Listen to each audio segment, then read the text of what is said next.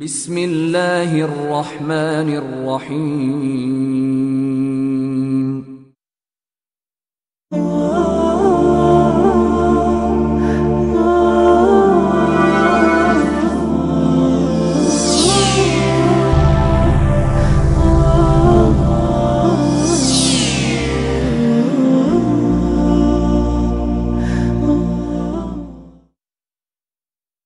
আসসালামু আলাইকুম রহমতুল্লাহি ওবরকাত আলহামদুলিল্লাহ রবিল আলমিন ওসলাত ওসালাম আলা সজিদুল মুরসালিন ওয়ালা আলিহি ও আসহাবিহি ওবারক ওসাল্লিম সুবহানাক লা ইলমা মা আল্লামতানা ইন্নাকা আনতাল আলিমুল হাকিম। সম্মানিত ইকরা বাংলা দর্শক শ্রোতা, ইসলামিক কিউএনএ উইথ ইকরা প্রোগ্রামে আপনাদেরকে আন্তরিক মুবারকবাদ। আলহামদুলিল্লাহ, আমাদের সাথে রয়েছেন ব্রিটেনের শ্রদ্ধাভাজন আলিমুদ্দিন দারুল আলুম ফসকায়ার মাদ্রাসার শেখুল হাদিস মুফতি শেখ আব্দুর রহমান দাম্মাত বারাকাত আসসালামু আলাইকুম ওয়ালাইকুম আসসালাম রহমতুল্লাহ বারকাত ভালো আছেন আলহামদুলিল্লাহ। আজকে আমরা যেহেতু হজ একবারে খুব বেশি দূরে নয় এর জন্য আমরা আজকে হজের গুরুত্ব তাৎপর্য সম্পর্কে আলোচনা শুনব ইনশাল্লাহ এবং যখনই দর্শক শ্রোতা আমাদেরকে প্রশ্ন করবে ইনশাল্লাহ আমরা প্রশ্নের চলে যাব ইনশাল্লাহ চেষ্টা করব। জাজাকুমুল্লাহ খায়ের إن الحمد لله الحمد لله وكفى وسلام على عباده الذين اصطفى. أما بعد فأعوذ بالله من الشيطان الرجيم. بسم الله الرحمن الرحيم. ولله على الناس حج البيت من استطاع إليه سبيلاً. ومن كفر فإن الله غني عن العالمين.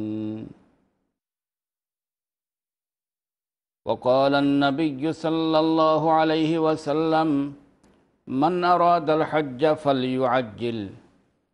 أو كما قال عليه الصلاة والسلام.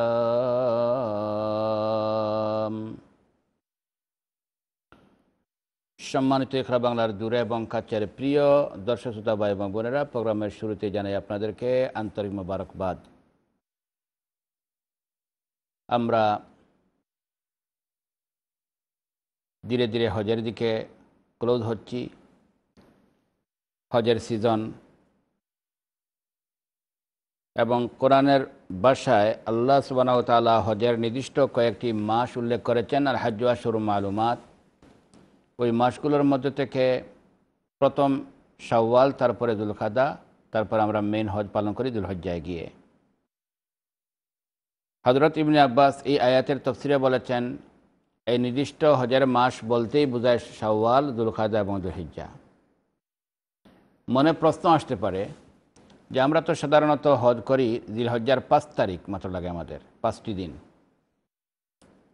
আট তারিখ, নয় তারিখ, দশ তারিখ, এগারো তারিখ, বারো তারিখ, এই পাঁচ দিনে হজের কাজ কমপ্লিট হয়ে যায়। তো জুল হিজ্জার আট তারিখ থেকে নিয়ে বারো তারিখ পর্যন্ত পাঁচ দিনে পাঁচটি জায়গায় অন্ততপক্ষে নয়টি কাজ করলেই আমাদের হজ সম্পাদন হয়ে যায়। কথা লক্ষ্য রাখবেন দুই হাজার মাত্র পাঁচটি দিনে পাঁচটি জায়গায় নয়টি কাজ আদায় করলেই মোটামুটি আমাদের হজ হয়ে যায়। জুলহজ্জার যে পাঁচ দিন বলতে আট তারিখ, নয় তারিখ, দশ তারিখ, এগারো তারিখ, বারো তারিখ। এবং যে পাঁচটি জায়গায় কেন্দ্র করে আমাদের হজ, সেটি হলো মিনা, মুজদলিফা, আরাফা, জমরাত এবং কাহবা, হরম। এই পাঁচ জায়গায় দু হাজার পাঁচ দিনে নয়টি কাজ করলেই হজ হয়ে যায়। নয়টির মধ্যে প্রথম তিনটি হলো ফরজ হজের নিয়তে এহরাম বাদা উকুফে আরফা আরফায় অবস্থান করা তারপরে মেইন তোয়াফ যেটাকে কিতাবের বাসায় তোয়াফ হেফাজা বা তোয়াফে জিরা বলা হয় এই তিনটি কাজ হলো হজের ফরজ বা রুকন আর পাঁচটি হলো ছয়টি হলো আর ওয়াজিব তো ছয় প্লাস তিন টোটাল নয় হয় এই নয়টি কাজ তো তিনটি আমরা পেয়ে গেছি বাকি ছয়টি ওয়াজিব কাজ যেগুলো উকুফে মুজদলিফা মুজদলিফায় অবস্থান করা দশ তারিখে শুরু করে তিন দিন রমিয়া জমরাত পাথর মারা, জবাহ পশু জব করা যারা তমত্তু অথবা কেরান করবেন। ইফরাত করলেও পশু জব করাটা সুন্নত, আর বাকি যারা তমত্তু অথবা কেরান করেন তাদের জন্য ওয়াজিব। সফা মারওয়ার সাই, ওই মাথার চুর হলক বা কসর করা, সফা মারওয়ার সাই করা তারপরে বিদায়ী তোয়াফ যাকে তোয়াফে ওদা বলা হয়, ছয়টি কাজ হলো ওয়াজিব, আর আগের তিনটি ছিল ফরজ। এই ছয় তিন নয় কাজ পাঁচটি জায়গায় জুলহাজার পাঁচ দিনের ভিতরেই করতে হয়। এর নামই হজ। তো তন্মধ্যে থেকে মুজদলিফায় আমরা তো হজের যে কোনো জায়গায় আমরা করতে পারি, বাট এই নিয়তটা হতে হবে হজের মাসের ভিতরে, অর্থাৎ হজের মাস শুরু হয় শাওয়াল থেকে। তো শাওয়াল থেকে শুরু করে শাওয়াল দুল খাদা দুল হিজ্জা এর ভিতরে কোনো এক সময় হজের নিয়ত করলেই এহরাম বাদলেই চলে। বা সাধারণত আমরা বর্তমান সময়ে যারা হজে যাই, খুব কম সময়ে আমরা হজ করে চলে আসি। মনে করেন লাস্ট প্রায় যদি হয় দুল হিজ্জার তিন বা চার বা পাঁচ তারিখ, তো অনেক এরকমও আছেন যে মাত্র দশ পনেরো দিনে সেখানে থেকেই পুরা দশ পনেরো দিনের সফরের মাধ্যমে হজ কমপ্লিট করে চলে আসেন। বাট মেইন হজের কাজ তো মাত্র পাঁচ দিনেই সম্পাদন হয়ে যায়। সো এহরাম বাদা, আর দুই নম্বর ফরজ উখু আরফা, এটা তো আরফায় গিয়ে করতে হয়। আর তিন নম্বর তোয়াফেদের এটা কাবাকে কেন্দ্র করে। সমান ওয়াজিব চটির মতো থেকে উকুবে মুজদলিফা যেটা, এটা মুজদলিফা কেন্দ্র করে ওই পাঁচ টাকার এক জায়গা। পরের দিন রমে জমরাত, এটা ওই পাঁচ টাকার এক জায়গা। এরপরে মাথার চুল হলক বা কসর করা আপনি যে কোনো জায়গায় করতে পারেন, সমস্যা নাই। এরপরে হলো জবাহ, এটাও কিন্তু হরমের ভিতরেই করতে হয়। এরপরে হলো সফা মারোয়ার সাই করা, এটা তো সমারোয়া এই কাবার কাছেই, কাবায় কেন্দ্র করেই।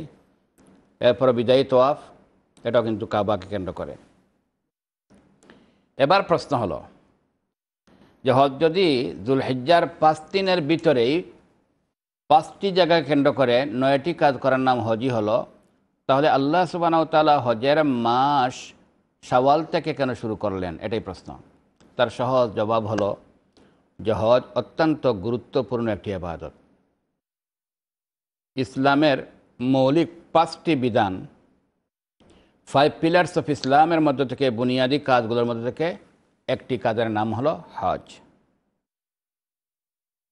এবং হজের মাধ্যমে জীবনের সকল গুণা মাফ হয়ে নিষ্পাপ বানিয়ে গড়ে রিটার্ন করে এবং নবী এ করিম সাম বলেছেন, হজ যদি কবুল হয়ে যায়, তার জন্য একদম একমাত্র বদলা হিসাবে একটি মাত্র বদলা উপযোগ উপযোগী। আর দুনিয়ার সব কিছু দিলে, আখরাতের সব কিছু দিলেও তার বদলা হতে পারে না। সেটি হলো, হজের একমাত্র উপযোগী বদলা হলো জান্নাত। আল হাজ্জুল মবরুর লই সালাহু জাজাউন ইল্লাল জান্না মবরুর এবং মকবুল অ্যাকসেপ্টেড হজ যে হজটি হবে নবীর সুন্নত মোতাবিক, যে হজের মধ্যে নেকি থাকবে গুণা থাকবে না, যে হজের মধ্যে বন্দার হক নষ্ট করা হবে না, যে হজের মধ্যে মাল খরচ করা হবে হালাল, যে হজের মধ্যে নবী একরম সুন্নাকে ফলো করে হজ করা হবে এবং যে হজ করার পরে হাজির পরিবর্তন চলে আসবে অত্যন্ত sincerely for the sake of আল্লাহ যে হজ করা হবে এইসব কোয়ালিটিপূর্ণ হজকে হজে মবরুর বলা হয়। নবী করিম সাল্লাহ ইসলামের পরিভাষায় হজটা যদি মবরুর হয়। তাহলে তার জন্য একমাত্র উপযোগী, উপযুক্ত রিওয়ার্ড হলো জান্নাত, আপনি জান্নাত পাবেন। এত গুরুত্বপূর্ণ একটি হজ। তার জন্য প্রশিক্ষণ নিতে হয়, তৈয়ারি করতে হয়। ফাইন্যান্সিয়াল তৈয়ারি এবং স্পিরিচুয়াল তৈয়ারি, দুই ধরনের তৈয়ারি আছে। একটি হলো পয়সা দিক দিয়ে তৈয়ারি, আর একটি হলো রুহানি এবং স্পিরিচুয়াল আধ্যাত্মিক তৈয়ারি। অর্থাৎ কীভাবে হজ করব, কীভাবে আমি সেখানে গিয়ে গুনাহ মাফ করব কীভাবে হজের মাধ্যমে আমি আমি গেইনার হয়ে জান্নাত উপা- উপার্জন করতে পারব? এই সব জিনিস শিক্ষা করার জন্য এবং তৈয়ারি করার জন্য আল্লাহ সুবানাও তালা শাওয়াল থেকে শুরু করেছেন। যারা হজে যাবেন, আপনারা শাওয়াল থেকেই যেন হজের প্রস্তুতি গ্রহণ করেন। শাওয়াল থেকেই যেন আপনি হজের মোস্তামাসের শিক্ষা করা শুরু করেন। শাওয়াল থেকেই যেন আপনি গুণা থেকে বের হয়ে ধীরে ধীরে আপনি আল্লাহর দিকে, আল্লাহর বাড়ি যেতেছেন, আপনি তখন থেকে তৈরি শুরু করবেন। যেভাবে আপনি যদি কোনো আত্মীয়র বাড়ি যান, শ্বশুর বাড়ি যাবেন তো আপনি একটা প্ল্যান করেন এবং যাওয়ার কয়েক ঘণ্টা পূর্ব থেকে আপনি নিজেকে সাজিয়ে গুছিয়ে রেডি করেন। তো আল্লাহর বাড়ি যাবেন, আল্লাহ আকবার। সেখানে যাওয়ার পূর্বে আপনাকে অবশ্যই তৈয়ারি করতে হবে। সেই তৈয়ারির জন্য আল্লাহ সুবাহ তালা শাওয়াল থেকে শুরু করেছেন, যে শাওয়াল দুল কাদা এবং দিল হজ্জা বর্তমান সময়ে যদিও প্লেনের সার্ভিস আপনি খুব তাড়াতাড়ি চলে যাইতেছেন, কিন্তু এক সময়ে মানুষ দূর দূর থেকে উট দিয়ে, গুড়া দিয়ে, পায়ে হেঁটে আল্লাহ আকবার আবার অনেক সাগর পথে জাহাজের মাধ্যমে স্টিমারের মাধ্যমে, লঞ্চের মাধ্যমে দূর দূর জায়গা থেকে মানুষ হজে আসছেন। আল্লাহ কোরআন উল্লেখ করেছেন, ওয়াজদিন ফিন্নাসি বিল হাজ্জি ইয়াতুকা রিজালান ওয়া আলা কুল্লি যামিরিন ইয়াতিনা মিন কুল্লি ফাজ্জিন আমিক। আল্লাহ ইব্রাহিম ইসলামকে বলেছিলেন যে আপনি হজের এলান করুন। মানুষ দূর দূর থেকে আসবে। কেহ সড়ক পথে, কেহ জলপথে বিভিন্নভাবে মানুষ দূর দূর থেকে হজে আসবে। তো সেই হিসাবে তখনকার যুগে মানুষ অনেক দূর থেকে অনেক সময় লাগতো। মাস লেগে যেত রাস্তার মধ্যে। আল্লাহ আকবর। এখন তো মাত্র দশ, পনেরো দিন বরং আরও কমে গিয়ে অনেক হজ করে চলে আসেন। এবং সেই হজের কিন্তু একটা আসরও ছিল। তো আলহামদুলিল্লাহ, সেই হিসাবে হজের মাস বলতে বলতেই শাওয়াল, দুলকাদা এবং দুলহজ্জা বলা যথাযথ ঠিক হয়েছে যে আপনি আগ থেকে প্রিপারেশন নেবেন। সেই হিসাবে আজকে আমরা হজের মোস্তাম সাইল নিয়ে আলোচনা আমরা শুরু করে দিতেছি এবং আজকের আমাদের মেইন আলোচ্য বিষয় ছিল হজের গুরুত্ব।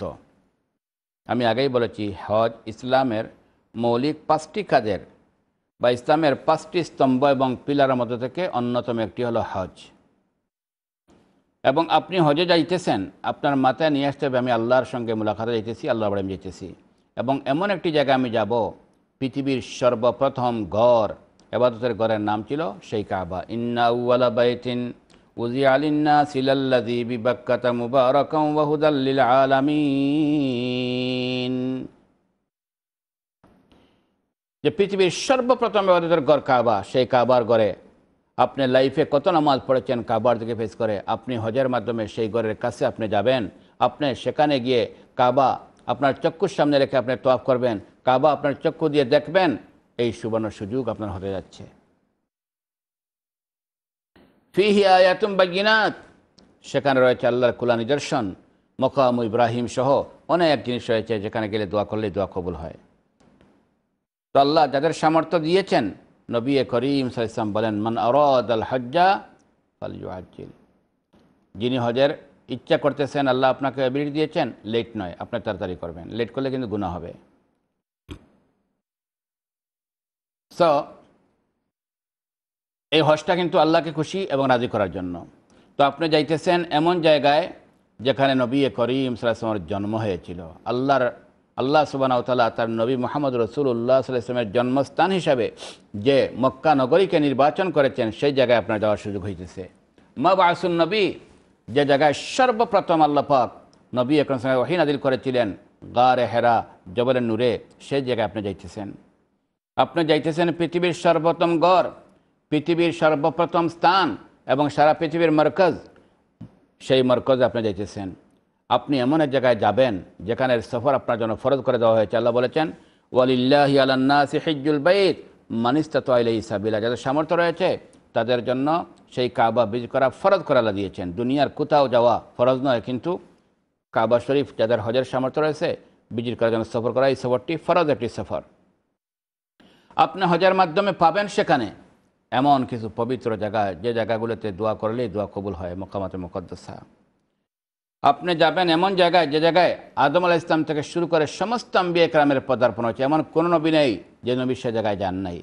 এবং পৃথিবীর এরকম আরেকটি জায়গা পাবেন না যেখানে সবচেয়ে বেশি নেককার লোক গিয়েছেন। সেই জায়গা যে জায়গায় পৃথিবীর সবচেয়ে বেশি লোকারের লো- নেককার লোকের আগমন ঘটেছে, শুভ আগমন ঘটেছিল। সেই জায়গার নাম হলো হরমাইন শরীফাইন বা মক্কা এবং মদিনার হরম। আল্লাহ আকবার। আপনি যাইতেছেন এমন একটি জায়গায় হজের মাধ্যমে, সেখানে গিয়ে নামাজ পড়লে প্রত্যেকটি নামাজের মাধ্যমে আপনি এক লাখ নামাজের সফর সুযোগ আল্লাহ করে দিয়েছেন। আল্লাহ আকবার। আপনি যাবেন এমন একটি জায়গায় হজের মাধ্যমে, যেখানে আল্লাহ সুবাহ তারা রেস্ট্রিক্টেড এবং হরম করেছেন সেক্রেটারি বানিয়েছেন। কাফের নন মস্যিকের ঢুকা শেখার নিষেধ এবং দাজ্জাল সেই জায়গায় ঢুকতে পারবে না, মক্কা এবং মদিনা ঢুকতে পারবে না। যে কাবার ছায়া, সারা পৃথিবীর সকল অবজেক্ট এবং জিনিসের ছায়ার চেয়ে বেশি দামি হজরত মোহাম্মদ সোকা ইবনে জুবাইর থেকে বর্ণনা করেন, একদিন উনি কাবার সায়ার মধ্যে বসে বসে বললেন, ও সায়া পৃথিবীর গাছের ছায়া আছে, বিল্ডিংয়ের ছায়া আছে, কিন্তু তুমি কাবার ছায়া আমার কাছে সবচেয়ে দামি ছায়া, তোমার চেয়ে দামি ছায়া হতে পারে না। আপনি যাইতেছেন এমন একটি জায়গায় যে আপনার সফরের মাধ্যমে আপনি সারা জীবন নামাজ পড়তেছেন যে কাবার দিকে হেই কিবলা আপনার চক্ষুর সামনে চলে আসবে। আপনি যাইতেছেন এমন জায়গায়, যে জায়গায় হজরতে ইসমাইল এবং হাজরের গড় ছিল এবং যেখানে পরীক্ষা দিয়েছিলেন ইমানের হজরতে হাজর এবং ইসমাইল এবং যেই কাবা নির্মাণ করেছেন হজরতে ইব্রাহিম আলাই সালাতাম যারা ইমানের পরীক্ষা দিতে গিয়ে দেশ ত্যাগ করেছেন, অগ্নিতে নিক্ষেপ হয়েছেন, নির্যাতন, নিপীড়নের শিকার হয়েছেন, উনি ইমানের পরীক্ষা দিয়েছিলেন। উনার ওয়াইফ হাজার, উনি ইমানের পরীক্ষা দিয়েছেন, ছেলে ইসমাইল ইমানের পরীক্ষা দিয়েছেন। তো আমরাও হজে গিয়ে সেই ধরনের ইমান আমরা করব। আমরা যারা বয়স্ক রয়েছি পুরুষ যারা আমাদের ইমান যেন হয় হজরতে ইব্রাহিম আল ইসলামের মতো এবং মহিলা যারা তাদের ইমান যেন হয় হাজরের মতো, ইয়াং যারা তাদের ইমান যেন হয় হজরতে ইসমাইলের মতো, সেই প্রশিক্ষণ গ্রহণ করার জন্য কাবাকে কেন্দ্র করে আমরা হজে যাই। সেখানে গেলে আপনি পাবেন পানি, পৃথিবীর বহু পানি রয়েছে, কিন্তু সেই পানিটা হলো সবচেয়ে পবিত্র একটি পানি।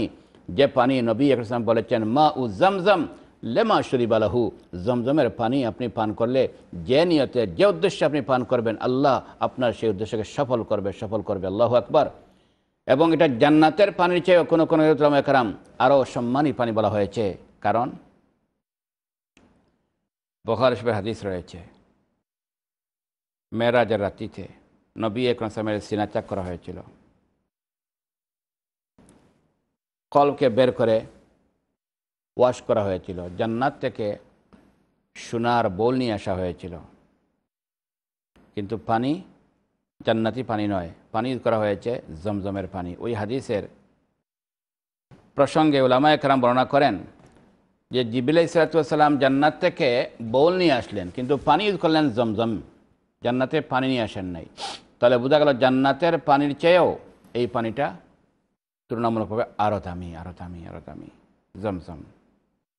এবং জমজম কুয়াটি সারা পৃথিবীর মধ্যে এরকম আরেকটি কুয়া আপনি পাবেন না, যে পাঁচ থেকে ছয় হাজার বৎসরের পুরাতন কুয়া। ডে ওয়ান থেকে পানি দিয়ে আসতেছে, আজ পর্যন্ত পানি দিছে দুনিয়ার পৃথিবীর কোনো এক কুয়ার পানি এত সব মানুষে পান করে নাই, যেই পরিমাণ মানুষ পান করতেছে সেই জমজম কূপের পানি। আল্লাহ আকবার। ডেইলি ফোরটি থাউজেন্ড লিটারের চেয়েও বেশি প্রত্যেকটা ঘন্টায় সেখান থেকে ফোরটি থাউজেন্ড লিটারের চেয়েও বেশি পানি এভরি আওয়ারে এইখান থেকে আউট হইতেছে। আপনারা হয়তো অনুমান করতে পারেন যে হজের মধ্যে গেলে আপনার হোটেলও আপনারা জমজম নিয়ে যান, মসজিদে গেলেও আপনারা জমজম পান করেন। আসার সময় প্রত্যেকেও মোটামুটি ফাইভ বা দশ লিটার পানি, আগে তো এর চেয়ে বেশি মানে বেইসামি আসা হতো। পৃথিবীর মিলিয়ন মিলিয়ন হজ্জাজ এবং অমরা করেনওয়ালা ব্যক্তিরা প্রতি বৎসর কী পরিমাণ পানি নিতেছে, কী পরিমাণ পানি পান করতেছে, এরপরও সেই কুয়া থেকে আজ পর্যন্ত পানি বের হচ্ছে।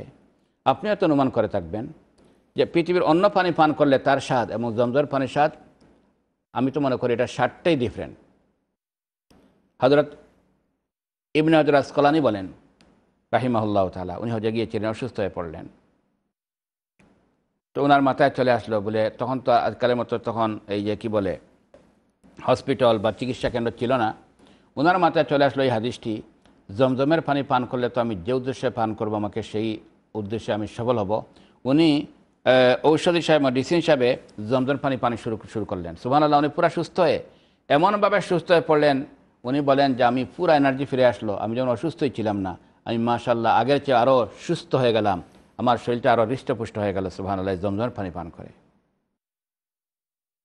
বখার হিসেবে লম্বে একটা ঘটনা রয়েছে। নবী একরম একজন সাহাবি। ওনার নাম ছিল আবুজর রেফারি কি নাম? আবুজর গেফারি।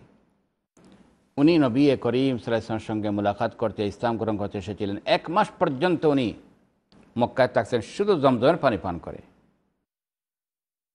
জমজমের পানি শুধু পানি নয়, এটা কিন্তু খাবারের কাজ দিয়েও দেয়, খোরাকের কাজও দেয়। আপনি যতই টায়ার্ড হন না কেন, জমজমের পানি পান করার পরে সে টায়ারটা কিন্তু চলে যায়, আবার নতুন এনার্জি ফিরে আসে। আপনারা হয়তো লক্ষ্য করেছেন সমরার সাইজ সময় অনেক সময় আমরা ক্লান্ত হয়ে গেলে আমরা কি করি? আমরা ওই সাইডে তো বিভিন্ন জায়গার ড্রাম দিয়ে পানি রাখা আছে। একটু পানি পান করার পরে দেখবেন আবার শরীরের চেতনা চলে আসছে। আবার সুন্দরভাবে আপনি সাই করতে পারতেছেন। আমি নিজেই পরীক্ষা করেছি, আলহামদুলিল্লাহ। তো আপনি সেখানে গেলে সেই জমজমের পানি পান করার সুযোগ পাচ্ছেন। আপনি সেখানে যাওয়ার মাধ্যমে অজের সফরের মাধ্যমে জান্নাতি পাথর, হজরে আসদ আপনার মাধ্যমে দেখা সম্ভব হবে বা বুসা দেওয়া সম্ভব হবে যে পাথরটি আদম আলাহ ইসলাম সাথে করে নিয়ে এসেছিলেন এবং ডে ওয়ানে এটা কিন্তু ছিল সাদা বনি আদমের গুনার মাধ্যমে কালো হয়ে গিয়েছে এবং কঠিন খেয়ামতে আল্লাহ সুবান তালা সে হজরাসকে উঠাবেন এবং তার চক্ষু থাকবে, জবান থাকবে। সে বলে দেবে, কে কে তাকে বুসা দিয়েছেন ইস্তেলাম করেছেন? কে তাকে দেখেছেন? সে নিজে কেমন সাক্ষীর পেশ পেশ করবে, আল্লাহ আকবর আল্লাহ আকবর। তো সেই হজরে আসদ আপনি হয়তো চুমা দিবেন বা দূর থেকে কোনো অবজেক্ট দিয়ে ছেলেকে টাচ করে আল্লাহ নবী কোনো সময় চুমা দিতেন আর কোনো সময় দুটোকে ইশারা করতেন, যেটাকে ইস্তেলাম বলা হয়। তো আপনি তিন তরিকার কোনো এক তরিকায় হয়তো আপনি ইস্তেলাম করার সুযোগ আপনি পাইতেছেন আপনার এই সফরের মাধ্যমে। তো এই সব জিনিস মাথায় নিয়ে আপনি পূর্ব প্রস্তুতির জন্য শাওয়াল থেকে শুরু করে জুল কাদা জুল হিজাব পর্যন্ত আপনি প্রস্তুতি গ্রহণ করে টাকা পয়সার প্রস্তুতি মোস্তামতের শিক্ষা করেও এবং নেক এবং নেককারির মাধ্যমে স্পিরিচুয়াল এবং রুহানি প্রস্তুতি গ্রহণ করে আপনি সেখানে যাবেন। এই হলো হজ। যে হজের মাধ্যমে পৃথিবীর কত মানুষ জীবনের সকল গুণা মাফ করেছে হজের মাধ্যমে কত মানুষ সেখানে গিয়ে দোয়ার মাধ্যমে জীবনের পরিবর্তন ঘটিয়েছে আপনি আমি সেই হজের জন্য অবশ্যই তৈরি করব এখন থেকে স্পিরিচুয়াল এবং মুসলামের শিক্ষা করে এবং ফাইন্যান্সিয়াল আল্লাহ যেন আমাদের সকলকে সেই তহবিল দান করেন আমিন। জাজাকুমুল্লাহ আহসান আল জাজা জাজাকুমুল্লাহ খায়ের সম্মানিত বাংলা দর্শক শ্রোতা আলহামদুলিল্লাহ অত্যন্ত গুরুত্বপূর্ণ আলোচনা আমরা শুনতেছিলাম যেহেতু প্রচুর কলার লাইনে চলে এসেছেন আমরা দেখি এই মুহূর্তে আমাদের সাথে প্রশ্ন কে নিয়ে আসছেন। হ্যালো কলার সালামু আলাইকুম। ওয়ালাইকুম আসসালাম। জি ওয়ালাইকুম সালাম রহমতুল্লাহ। জি বলুন আপনার প্রশ্ন। জি আমরা জি, জি, শুনতে পারতেছি। আপনার প্রশ্ন বলুন। যে আমি প্রশ্ন না আপনাদের এখানে একটু আগে আহ, ব্যাপারটা বললেন। জমজমের পানির ব্যাপারটা। জি। তো এই জিনিসটার সাথে আমি নিজেও একটুখানি অ্যাড করতে চাই যদি আপনি অনুমতি দেন। সেটা হলো আমি দুই হাজার ছয়ে হজ করেছিলাম তা এবার একবারেই হচ্ছিল আমার দাঁতের অবস্থা খুবই খারাপ মুখ খুলে মোটামুটি একদম মানে চেনার মতো না। আমি আমার ওষুধ নিয়ে গেছি ওটা হারিয়ে ফেলেছি। ওই সময় আমাকে সব করতে হয়েছে আমি বুঝতেছিলাম না কি করব। কিন্তু আমি তখন আমার যে যিনি ছিলেন উনি বললেন আপনি যাই পানি করেন। দমদমের পানিটা আপনি খেতেই না তো শেষ হবে না। এখন দমদমের পানিটা অনেক ঠান্ডা। অনেক জি, জি। ঠান্ডা যে এই পানি আমি কীভাবে খেতে আমার খুব দাঁতের খারাপ। সেখানে আল্লাহ কি রহমত আমি ওই পানিটা যাও কষ্ট করে এ, ফেলছি পানিটা কুড়ি করে। আর ওই মুহূর্তে কিছু মনে থাকছিল না শুধু যে আল্লাহ আমার দাঁতটা ঠিক হয়ে গেলে আমি যেন হজটা শেষ করতে পারি। আলহামদুলিল্লাহ এটিকে আজ পর্যন্ত আজ কত বছর? সুবহান কোনোদিন দাঁতে কিছু হয় না কোনো ওষুধও লাগে নাই কেউ হয়ে। তারপরে দাঁত অ্যানালিং করালাম আমার কোনো এই কিলারও কোনো কিছু না। এটা আমার মনে হলো আমি একটু শেয়ার করি। আলহামদুলিল্লাহ অত্যন্ত গুরুত্বপূর্ণ একটা এক্সপিরিয়েন্স টু থাউজেন্ড ফোরে বলেছিলেন না? টু থাউজেন্ড সিক্সে সিক্সে ও। আচ্ছা টু থাউজেন্ড সিক্সে এবং সেভেন আমিও ছিলাম হজে। সেভেনে তো পানিও হয়েছিল সেভেনে বোধ হ্যাঁ। যে এই জিনিসটা শুধু আমি বলার আমি আমার এক্সপিরিয়েন্স একটু শেয়ার করলাম। অশেষ ধন্যবাদ আপনাকে। আর আমরা আপনার এক্সপিরিয়েন্স থেকে ও হাদিসের সাপোর্ট আমরা পাইলাম আর বাস্তবেও তাই। এই জন্য রসলাম বলেছেন না না না না খুবই ভালো করছেন খুবই ভালো করছেন মার্শাল অশেষ ধন্যবাদ আপনাকে। উনি টু থাউজেন্ড সিক্সে হজে গিয়েছিলেন বললেন দাঁতে প্রচণ্ড ব্যথা। তো ওনার মাথায় চলে আসলো আমি কী করব? তখন তিনি জমজমের পানি পান করেছিলেন খুবই ঠান্ডা। তিনি ভয় পাইছিলেন যে আমি এই ঠান্ডা কারণ জমজমের পানি ওই যে যে ড্রামে থাকে ওইখানে আবার কিন্তু বিভিন্ন ধরনের কী থাকে? ঠান্ডা বা গরম দুই ধরনের অপশন আছে। তো উনি হয়তো খুব ঠান্ডাটাই পান করেছিলেন বা আলহামদুলিল্লাহ মধ্যে উনি মাসাল্লাহ এমনভাবে ইয়ে হয়ে গেছে ফ্যান ফেঙ্গিলা ছাড়া সুস্থ হয়ে গেল এখন পর্যন্ত দাঁতনা ঠিকই আছে মাসাল্লাহ জাজাকুমুল্লাহ জাজাকুমুল্লাহ। জাজাকুমুল্লাহ খায়ের সম্মানিত বাংলা দর্শক শ্রোতা আলহামদুলিল্লাহ অত্যন্ত গুরুত্বপূর্ণ প্রশ্ন আপনার নিয়ে আসছেন। হয়তো প্রচুর কলার লাইনে চলে আসছেন কিন্তু আমরা এখন কল নিতে পারছি না যেহেতু ছোট্ট একটি বিরতি যেতে হচ্ছে। বিরতির পর আবার যখন ফেরত আসব ইনশাল্লাহ আপনাদের কল নেওয়ার চেষ্টা করব। আশা করি দর্শক শ্রোতা আমাদের সঙ্গে থাকবেন বিরতির পর দেখা হবে। আসসালামু আলাইকুম রহমতুল্লাহি ওবরাকাত।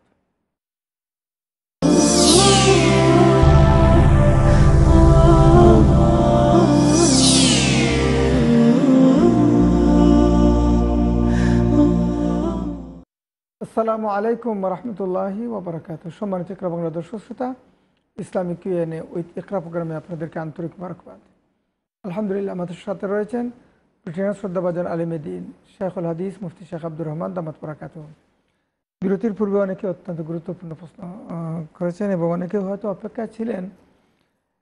আমার কাছে একটি প্রশ্ন, এরপরেই ইনশাল্লাহ আপনাদের কল নেওয়ার চেষ্টা করব। উমরার জন্য শেষ যে কাজটি, মাথার চুল কাটা, কিন্তু হজের বেলায় দেখা যায় যে চুল কাটার পর আবার সাই করা।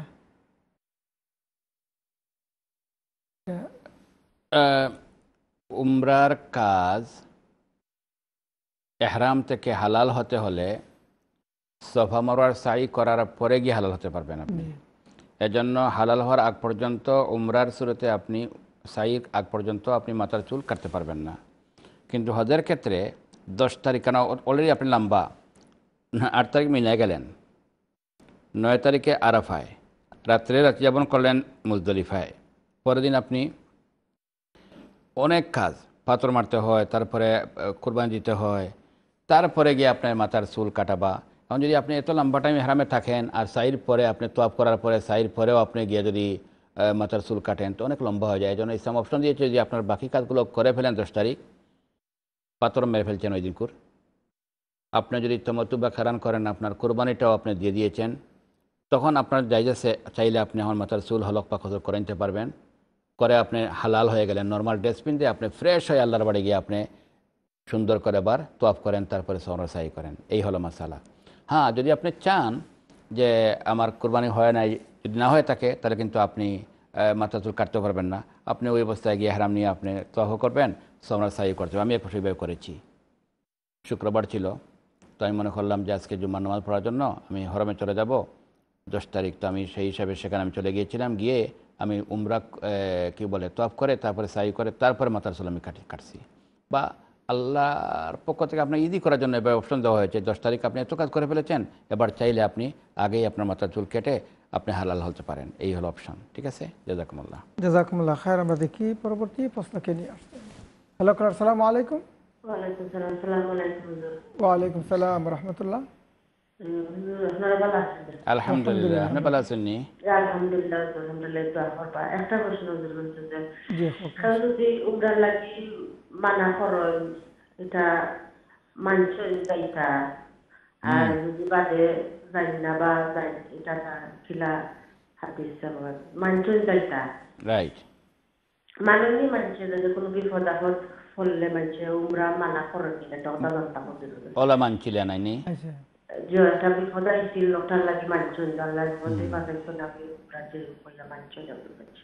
ঠিক আছে।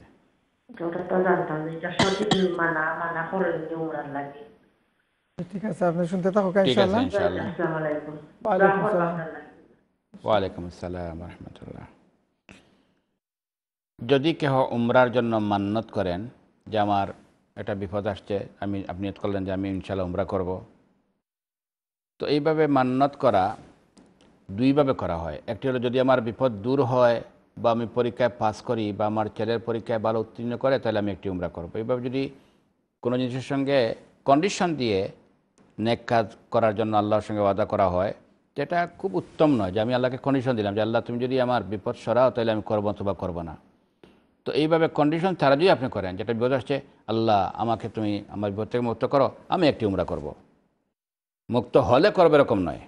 আল্লাহ, আমি নিয়ত করলাম একটা উমরা করব। আমি মান্নত করলাম আমি একটা উমরা করব, আল্লাহ আমার বিপদকে সরিয়ে দাও। আল্লাহ, আমি একটি উমরা করব, আমি মান্নত করলাম, নজর করলাম, আল্লাহ আমার ছেলেকে পরীক্ষায়, মেয়েকে পরীক্ষায় ভালো রেজাল্ট করার তফিক তুমি দিয়ে দিও। আল্লাহ, তুমি তোমার এই কাজটা করে দিও, সেই কাজটা করে দিও, আমি একটি উমরা করব। আপনি উমরা করার মান্নত করেই ফেলেন এখন। কন্ডিশন নাই, হলে করব এরকম নয়। যে কোনো জিনিস হলে আমি নেকাজ করব, এইভাবে কন্ডিশন দিয়ে করাটা আল্লাহ নবী খুব ভালো পান নাই, নিষেধ করেছেন। পাটের পরেও নজর হয়ে যায়। তো দ্বিতীয় পন্থার নজর যেটা, যে আপনি বললেন যে আমার একটা বিপদ, আল্লাহ আমি নজর করলাম, মানত করলাম, আমি উমরা করব, আল্লাহ আমার বিপদটা সরিয়ে দেন। আপনি উমরা করার নিয়ত করে ফেলেন, মানত করে ফেললেন, আর ওসিলাই সাহেব বললেন যে আল্লাহ আমার বিপদটা সরিয়ে দাও। তো এইভাবে নজর করলে আল্লাহ কোরআনে বলেছেন বলে ইউফু নুজুর আহম যারা নজর এবং মানত করবে, তারা যেন তাদের মানতকে যেন ফুলফিল করে। আল্লাহর নবী সাল ইসলাম হজরত ওমরকে বলেছিলেন, আওফি বে নজরিক তুমি যেটা নজর করেছ, তোমার নজর তুমি পুরা করো। তো আল্লাহর কাছে যখন আপনি ওয়াদায় আবদ্ধ হলেন যে আমি এইভাবে করব, তো আপনার জন্য এটা করাটাই উচিত করবেন। তবে হ্যাঁ কোনো নজর ফরজ হয়ে যায়। যদি এমন কোনো জিনিসে আপনি মান্নত করেন যে সেমিলার কাজ ফরজ হয়, তোমার রোজা রাখার মানত করেছেন, তো রোজার মধ্যে ফরজ আছে? হজের আপনি মানত করেছেন, হজের মধ্যে ফরজ হয়। তো এই সমস্ত কাজ তো মান্নত করার সঙ্গে সঙ্গে এটা কিন্তু করা আপনার জরুরি হয়ে পড়ে। তো এইভাবে যদি আপনি উমরার মান্নত করেন, সেই উমরার উমরার মান্নতটাও আপনি পুরা করে ফেলবেন, যেহেতু আল্লাহর সঙ্গে ওয়াদা করেছেন। আর আল করিম ইদা ওয়াদা ওয়াফা। ভালো লোক ওয়াদা করলে ওয়াদা পুরা করে। যদি কোনো কারণে করতে পারেন না, তাহলে সেটা হয়তো কোনো কাউকে দিয়ে আপনি বদলি করাবেন। ঠিক আছে ইনশাল্লাহ জাজাকুমুল্লাহ হাসান জাদা জাজাকুমুল্লাহ খার আপনার সুন্দর প্রশ্নের জন্য মোবারকবাদ। আমরা দেখি পরবর্তী প্রশ্নকে নিয়ে আসছি। হ্যালো কলার সালামু আলাইকুম।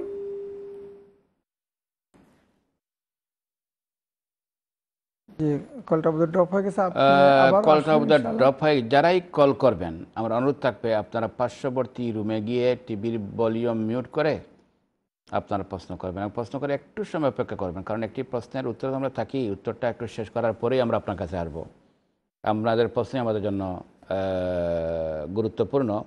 আপনাদের সুন্দর প্রশ্নের মাধ্যমেই আমাদের এই প্রোগ্রাম সার্থক এবং সফল হয়। আমাদের এই প্রোগ্রামের নামই হলো Islamic Q N A with Iqra যে আপনারা ইসলামের বিভিন্ন প্রশ্ন করবেন। আজকের আমাদের হচ্ছে বিষয় ছিল হজ নিয়ে। এবং মনে রাখবেন, ইসলামের পাঁচটি মৌলিক কাজ, পাঁচটি ইসলামের পিলার্স স্তম্ভ, প্রথমটি হলো শাহাদা ইমান যে আমরা বিশ্বাস করি আল্লাহ সারা কোনো মাহবুদ নাই এবং মোহাম্মদ সাল ইসলাম আল্লাহর নবী এবং রসুল। এরপরেরটি হলো নামাজ। সাল্লাহ তারপরেরটি জাকা তারপরেরটি সৌম রোজা যেটাকে আমরা বলি তারপরেরটি হজ। তো সাল্লাহ যেটি ডেইলি আমরা পাঁচবার পড়ি, মূলত ছিল পঞ্চাশ, কিন্তু আমরা পড়ি পাঁচ। মোটামুটি আমাদের প্রত্যেকটা প্র্যাকটিস হয়ে যায়। জাকাত সেটিও কিন্তু বৎসরে, প্রতি বছর একবার দিতে হয়। তো নমাদের তুলনায় জাকাতটা আমরা যদি বছরে মাত্র একবারই দিই, এইটা অনেকের মস্তা জানার অভাব থাকে, সেটাও আমাদের জানার প্রয়োজন। সমান সিয়াম এটাও বৎসরে একবার। তো আমরা পাইলাম ইসলামের এই পাঁচটি স্তম্ভের মধ্যে থেকে সলা ডেইলি পাঁচবার, আর সম এবং জকাত বৎসরে একবার ফরজ দিতে হয়। আর হজ কিন্তু সারা লাইফে মাত্র একবার ফরজ। এরপর আপনি যতবার করবেন সেই নফল হবে, এটা আর ফরজ নয়, সারা লাইফে একবার ফরজ। এখন সেই ফরজকে যদি আপনার ভালোভাবে করেন, আলহামদুলিল্লাহ আপনার সফল। যদি কোনো কারণে আপনার হজম কোনো ত্রুটি থেকেই যায়। যে ত্রুটির কারণে আপনার সবের মধ্যে ডিক্রিজ হয় রিডিউস হয় তাই আপনার সব কমই কম পাইবেন। আর যদি মারাত্মক ধরনের কোনো ত্রুটি হয়, ফরজের ক্ষেত্রে কোনো ব্যতিক্রম, তাহলে তো হজটা অসম্পূর্ণ থাকবে এটা আদায় হবে না। তো মোটামুটি যদি আপনি হজ আদায় করলেন, আর কোনো একটা প্রবলেম হয়ে গেল, তো আপনার সবের ক্ষেত্রে রিডিউস হবে, কমই হবে। এজন্য হজের জন্য পরিপূর্ণ মস্তাই শিক্ষা করে যাওয়া, প্রস্তুতি গ্রহণ করে যাওয়া এবং ওলামা একরামের সঙ্গ পাইলে এটাকে প্রায়োরিটি দেওয়া এটা খুবই জরুরি। তাহলে আপনি তাদের কাছ থেকে সম্পূর্ণ একটা গাইড পাইলেন। এটা খুবই জরুরি। এখানে একটা প্রশ্ন। এই বছর যে নতুন একটা নিয়ম করা হয়েছে যে সাড়ে তিন হাজার মনে হয় এই ইউরোপ থেকে যাইতে পারবে বা ব্রিটেন থেকে যাইতে পারবে। হয়তো দশ পনেরো হাজার লোকের হজ ফরজ হয়ে গেছে ওরা যাইতে চাচ্ছে কিন্তু পাচ্ছে না। তার হয়তো দশ বছর হায়াত ছিল এর আগে গুরুত্বপূর্ণ প্রশ্ন। এখন এবার মনে করেন যেহেতু তাদের অনলাইনের সিস্টেম হিসেবে আপনি সেখানে লগ করে আপনি হজ বুক দিবেন। তো যারা করেছেন তারা বলেছেন যে অনেক সময় দুই তিন চার পাঁচ দিন পর্যন্ত লাগাতার কয়েক ঘণ্টা পর্যন্ত লগ করলেই দেখা যায় এক পর্যায়ে গিয়ে দেখা যায় দেখা যায় এখানে ফুল কোটা ফুল তো আরেকবার আবার করতে হয়। তো আবার ফুল ডিটেলস আবার দিতে হয়। প্রথমে লগিংয়ের রেজিস্ট্রেশন করতে হয়, তারপরে লগিং করে বারবার চেক করতে হয়। যদি কোনো জায়গায় আপনি সিট ইয়ে পান অ্যাভেলেবল পান, তখন আপনি তাড়াতাড়ি আপনি বুক দিয়ে দিলেন। এতে গিয়া যারা অনলাইন জানে তাদের জন্য তো বিরাট কঠিন। আর যারা অনলাইন জানেন, তারাও কিন্তু ফেড আপ বলতেছেন যে বারবার লগিং করতে করতে করতে করতে ফেড আপ হয়ে যায়। ইভেন রিসেন্টলি আমি শুনেছি যে ওনারা বলেছেন তারা কয়েকজন ফ্যামিলি রোটেশন করে ফেলেছেন তারা। যে দিনে তুমি সারাদিন লগিং করবে বারবার। রাত্রে আমি করব কারণ এক একজন টাইমে খামে কাজে থাকেন। এরপরে তিন চার দিন পাঁচ দিন করার পরে হঠাৎ করে গিয়ে কেউ কেউ এভাবে একটা বুকিং পেয়ে গেলেন। বাট এরপরে তো অনেক ডিটেলস এটা অজানাই থাকে। তারপরে পয়সা পেমেন্ট করতেও কিন্তু আবার একটা প্রবলেম ফুল পেমেন্ট একসঙ্গে দিতে হয়। এখন অনেকের আছে ক্রেডিট কার্ড দিয়ে যদি একসঙ্গে পেমেন্ট দেয় এত বড় পেমেন্ট তো দেখবেন আপনি সিকিউরিটি ইয়ের কারণে রিজনের কারণে হয়তো আপনার পেমেন্ট কিনা হতে পারে পাস না হতে পারে। আপনি ব্যাংকের অ্যাকাউন্ট থেকে দিলে অনেক সময় এটা কিন্তু সিকিওর নয়। তো এটা অনেক জিনিসটা মানে খুবই স্ট্রাগল করছেন এক ভাই বোনরা আবার কোনো কোনো ওয়েবসাইটে রয়েছে যে আপনারা গাইডের জন্য অমুক অমুককে আপনারা চয়েস করতে পারেন এভাবে কিছু ইনফরমেশন রয়েছে। আবার কিছু ট্রাভেল এজেন্টও গাইড দিতেছেন। তো সব মিলিয়ে জিনিসটা কিন্তু একটু জাপসা আছে অনেক। বাট এরপরেও আলহামদুলিল্লাহ অনেকেই বুক করতে পারতেছেন। প্রশ্ন হলো, যাদের হজ, ফরজ ছিল, তারা এইভাবে বুক করতে না পারেন আর লেট হয়ে যায়। ইনশাল্লাহ সেই লেটের কারণে আপনার কোনো গুণা হবে না। কারণ আপনি তো পুরো তৈরি করতেছেন। আল্লাহ বলেছেন মানিস্তা তো আইলে হিসাবিলা আপনার হজ ফরজ। আপনার যদি কোনো কারণে বুকিং নাও হয়, এই লেটের কারণে যদি আপনি করতেও না পারেন গুণা হবে না। কিন্তু এই ফরজ হয়ে যাওয়ার কারণে আপনি অস্থির করে যাবেন যেন আপনার হজটা পরবর্তীতে কেউ যেন বদলি হজ করায়। বাট এই লেটের কারণে বা আপনি করতে না পারার কারণে ইনশাল্লাহ আপনার কোনো গুণা হবে না ইনশাআল্লাহ। আর এই সিস্টেম নিয়েও কিন্তু বিভিন্নভাবে কথাবার্তা চলতেছে। মনে হইতেছে না, গত বছর তো তারা সমান পদ্ধতি অবলম্বন করছে, অনেক মিস্টেক হয়েছিল। এই বছরও একটু ইমপ্রুভ হয়েছে বাট এরপরেও পূর্ণমাত্রা এখনও ইমপ্রুভ হয় নাই। তো হয়তো তারা ইমপ্রুভ করে করে ধীরে ধীরে হয়তো তারা সামনের দিকে অগ্রসর হবে। আমরা এটাই আশা করব এবং আমি মনে করি বর্তমান সময়ে যে সমস্ত এজেন্ট হজার এজেন্ট যারা রয়েছেন বা যারা গাইড দেন, আপনারাও এই ব্যাপারে কিন্তু আমাদের যারা হজে যাবেন তাদেরকে প্রশিক্ষণ দিলে বা কীভাবে কী করতে হবে না হবে অনলাইনে কীভাবে বুকিং করতে হবে এটা কিন্তু আমি মনে করি প্রশিক্ষণের খুবই প্রয়োজন রয়েছে। তো এই ব্যাপারে আমরা একটা চিন্তা করব যে যারা হজের জন্য বুকিং করতেছেন কীভাবে বুকিং করা যায় না যায় একটা অনলাইন গাইড দেওয়ার জন্য যদি সম্ভব হয় আমরা টিভির মাধ্যমে কোনো প্রোগ্রাম মাধ্যমে হোক বা যেভাবে হোক, আমরা একটা বসে চিন্তা করব ইনশাল্লাহ তো মেন প্রশ্ন হলো হজ যাদের উপর ফরজ হয়ে গিয়েছে নবী ইসলাম বলেছেন মান আরও আদাল হজ্জা ফালিওয়াজিল দেরি নয় তাড়াতাড়ি। যদি কোনো এইভাবে সিস্টেমেটিক কারণে কোনো লেট যদি হয় সেটার কারণে আপনাকে দায় দায়িত্ব নিতে হবে না। জাজাকুমুল্লাহ। জাজাকুমুল্লাহ খায়ের আমরা দেখি পরবর্তী প্রশ্নকে নিয়ে আসছি। হ্যালো কালার সালাম আলাইকুম। জি। ওয়ালাইকুম সালাম রহমতুল্লাহ। আমার একটা কইতাম আপনারা জি ফরমকা আপনার ওখানে মেডিকেল শরীর খারাপ হয়ে গিয়ে আপনার? দোকান থেকে পড়া যায়নি আপনার? আমি খইমু ইনশাল্লাহ কোনো প্রশ্ন আর আচ্ছা আর দেব না ওখানে লাগে আমরা হইয়ার ইনশাল্লাহ ঠিক আছে ইনশাআল্লাহ শুনতে থাকব আসসালামু আলাইকুম। আসসালাম রহমতুল্লাহি বারাকাত আপনার প্রশ্ন। মা বোনদের মানতি যে বেমার হয় মেনসিস হয় পিরিয়ড হয়, ওই টাইমে কি কোরআন পড়া যাবে?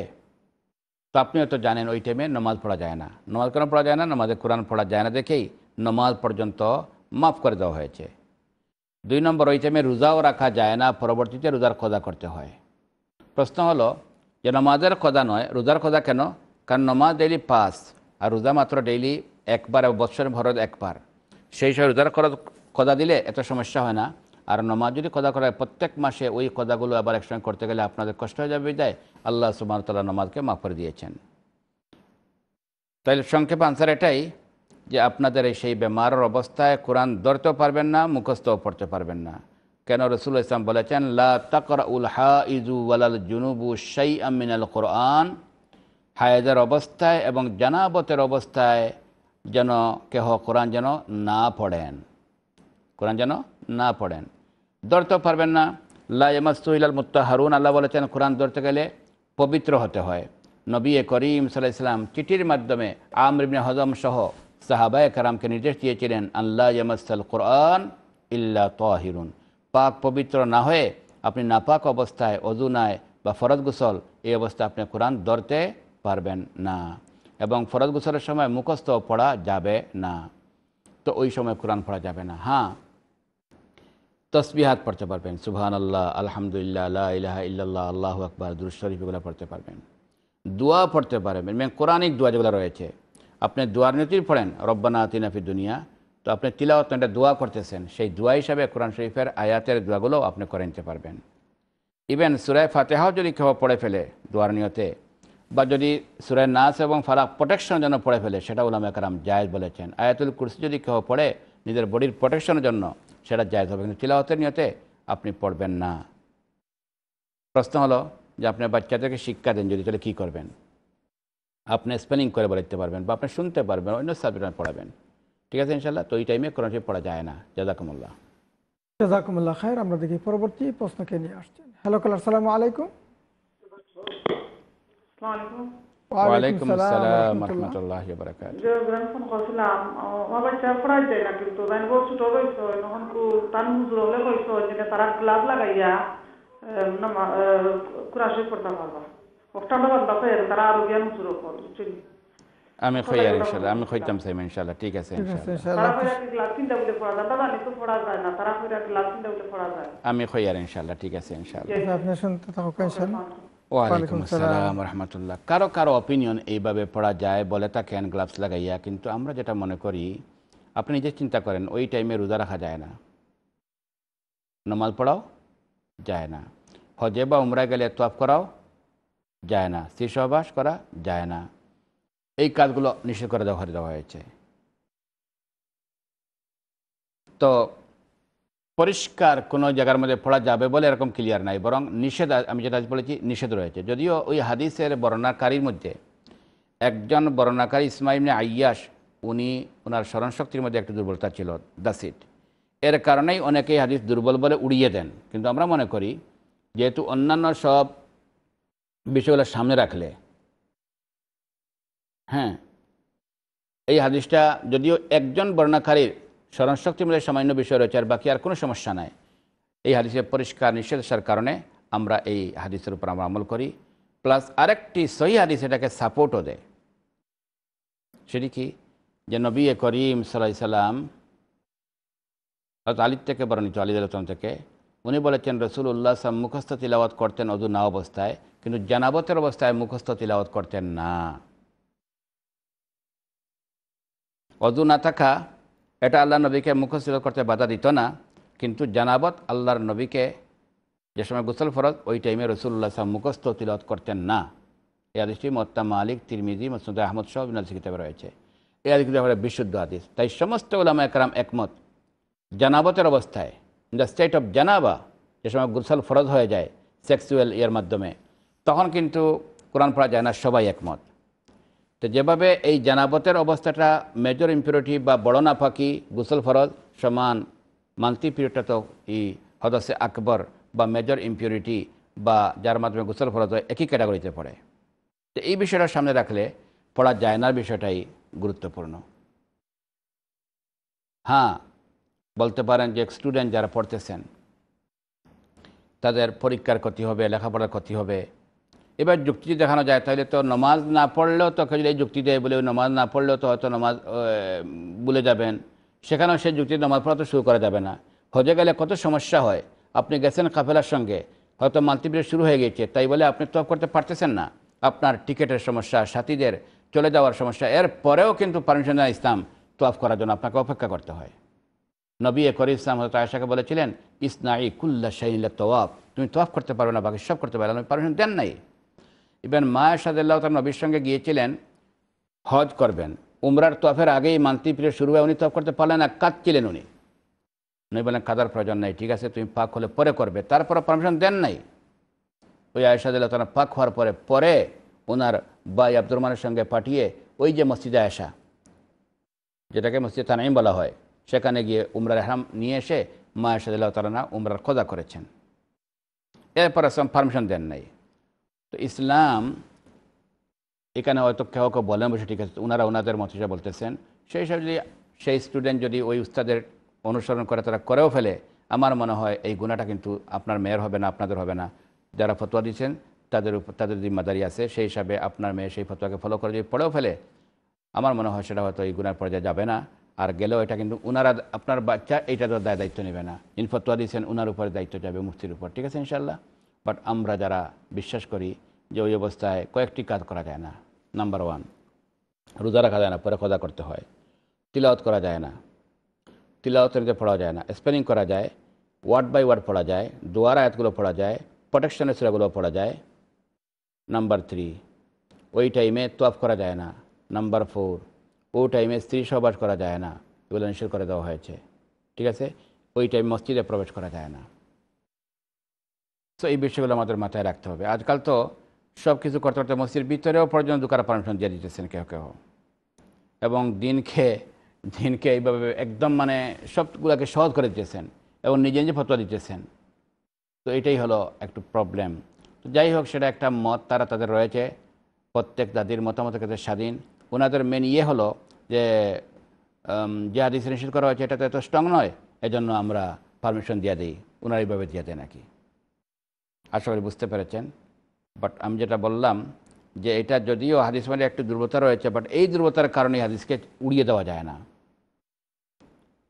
বিশেষ করে ওই হাদিসটাকে আরেকটি বিশুদ্ধ হাদিস, জানাবতের অবস্থায় পড়া যায় না, ওই হাদিসটা কিন্তু সাপোর্ট করতেছে, কারণ জানাবত, যে সময় ফরদ গুসল হয়, জানাবত বুঝতে পারতেছেন, জানাবত প্লাস মান্থলি পিরিয়ড দুটা হদসে আকবর বা মেজর ইম্পিউরিটি হওয়ার পয়েন্টে হদস এবং নাপাকির ক্যাটাগরির পয়েন্টে দুটা সেম ক্যাটাগরির উভয়টা ফরজ গুসল হয় গুসল ফরজ হয়ে যায়। এজন্য আমরা এটাই মনে করি পড়া যাবে না। ঠিক আছে ইনশাল্লাহ জাজাকুমুল্লাহ হাসান জাজা আপনাকে অশেষ ধন্যবাদ প্রশ্নের জন্য। জি। জাজাকুমুল্লাহ খার আমরা দেখি পরবর্তী প্রশ্নকে নিয়ে আসছেন। হ্যালো কলার সালাম আলাইকুম। হ্যালো আসসালামু আলাইকুম। ওয়ালাইকুম সালাম রহমতুল্লাহ। আমি যে আমার কয়েকটা দোয়ার বই নাম যদিন কইতাতে ভালো হইল নে। ঠিক আছে আমার লাগে দোয়া কথা আমার ফ্যামিলি লাগে আমরা কবুলিয়ত আল্লাহ কবুল করুন করি ও মান কই আপনারা বুক করিলছেন নি? জিও জিও। আলহামদুলিল্লাহ আলহামদুলিল্লাহ। কত এরিয়া আপনারা? আমরা তাইর আমার ছয়জন। আমরা দোয়া করব ইনশাল্লাহ আর কোনো প্রশ্ন আছে নি জি না ও কয়েকটা দোয়ার বই লাগে হুজুর আমি চাইলাম দেব কোনো গিয়া আরে আল্লাহর বাড়িতে গিয়া খোঁজ করলাম বুঝতাম পারছি ঠিক আছে আমাকে। বুঝতাম পারছি জানো হুজুর আমি আমি আমি বেটার হইব আপনি কারণ অনেক বুকর নাম আমরা কিন্তু ইকানো খাত গেলে অনিয়ারও এটা অন্য একটা রিস্কে ইয়ে হিসাবে আমরা অনিয়ার আপনার বুকর নাম স্পেসিফিক না হইয়া আমি অফিয়ার আপনার অন্য সময় হই মনে বেটার হইব আপনি আমরা নম্বর বা আমরা আপনার নম্বর আমরা ফাইলে আমরা যোগাযোগ করব এটা বেটার হইব তো একটা রুলের কারণে আমরা কেন অন্যার আমরা কোন নাম মিলে হইতে পারতাম না। এমনি আপনার আমি জান হইমু যে আলহামদুলিল্লাহ আপনি যে কোনো দোয়া আপনি করতে পারেন, যে কোনো ভাষায় করতে পারেন। আপনি দিল খুলিয়ে আপনার বাংলা ভাষায় যা মনে হচ্ছে আপনি দোয়া করেন, যদি সব দোয়া কবুল করবা কিন্তু যে একটা কতিপয় দোয়া আপনার মুখস্থ করা লাগবে, এটা জরুরি। একটা হলো তালবিয়া। লব্বাইক আল্লাহুম্মা লব্বাইক লব্বাইক লা শারীকা লাকা লব্বাইক ইন্নাল হামদা ওয়ান নি'মাতা লাকা ওয়াল মুলক, লা এই দোয়াটা আপনি লিখতে হইবা। কারণ এহরাম বানতে হইলে এই দোয়াটা পড়া লাগে। বা যে কোনো আল্লাহর নাম লইয়া আপনি তলবিয়া তো পড়তে হইবা মানে শুরু করতে হইবা। আর যেগুলো পড়েন তিনবার পড়া বালা এবং এহরাম বান্ধার পরে সব থেকে উত্তম তসবি লগে এই তালবিয়া। আপনি যখন তলবিয়া পড়বা, আপনার তলবিয়া উনি সব আর তলবিয়া পড়ব। আরও কথা আমি কইম ইনশাল্লাহ পরে আমরা আইলে আর আপনারা ইনশাল্লাহ আমরা অবশ্যই বুকর নাম হওয়ার চেষ্টা করব ইনশাল্লাহ আপনি আমরা জাজাকুমুল্লাহ হাসান জাদা জাজাকুমুল্লাহ খায়ের সম্মানিত ইকরা বাংলা দর্শক শ্রোতা, আলহামদুলিল্লাহ অত্যন্ত গুরুত্বপূর্ণ প্রশ্ন নিয়ে আসছেন। যেহেতু আমরা ছোট্ট একটি বিরতি যেতে হচ্ছে। বিরতির পর আবার যখন ফেরত আসব ইনশাল্লাহ আপনাদের কল নেওয়ার চেষ্টা করব। আশা করি দর্শক শ্রোতা আমাদের সঙ্গে থাকবেন। বিরতির পর দেখা হবে। আসসালামু আলাইকুম রহমতুল্লাহি ওবরাকাত